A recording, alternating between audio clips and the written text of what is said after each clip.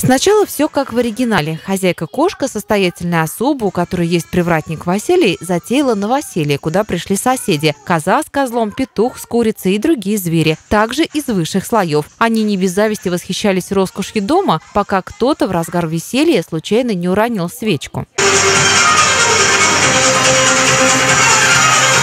У Маршака дом сгорел вместе с добром, а кошку приютили бедные племянники, которых она и на порог не пустила. В постановке все иначе. Имущество спасли пожарные, а для хозяйки это стало уроком. А чтобы вам не оказаться в опасности, учите правила пожарной безопасности.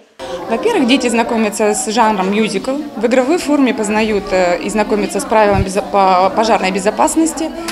Также дети с удовольствием принимают участие и откликаются на наши предложения. С ними проводились э, тематические беседы, то есть была предварительная подготовка к данному мероприятию. Дети были знакомы с ситуациями, были знакомы с запрещающими знаками.